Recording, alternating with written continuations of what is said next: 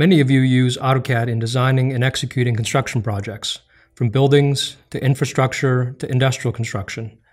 In AutoCAD 2016, we've added and enhanced features specifically for the construction industry that make it easier for you to coordinate, extract as-built information, and document your designs.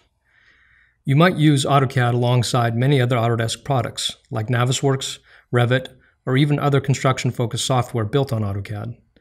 We've added a new feature called Coordination Model that allows you to attach and view Navisworks and BIM 360 glue models directly inside AutoCAD. With the models there to reference as you design, you can avoid conflicts in the first place. Now you can truly integrate your design with everyone else's from day one. Leverage Navisworks' vast file format support to bring models into AutoCAD for many other applications used by you or other project team members.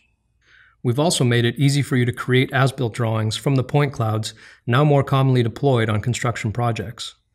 Extract your floor plan directly from a cross-section of the point cloud or, using our new snapping tools and dynamic UCS support, create geometry directly from the point cloud. Most project drawings end up getting shared or sent out to the field as PDFs. This makes it easy to create, share, and communicate on any platform.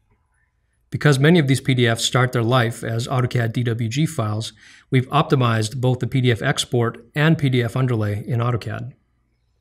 Hyperlinks from AutoCAD are also included in the PDFs you're creating. PDFs you import back into AutoCAD are more nimble than ever before. Try AutoCAD 2016 for your next construction project and see how integrating project models can improve your designs.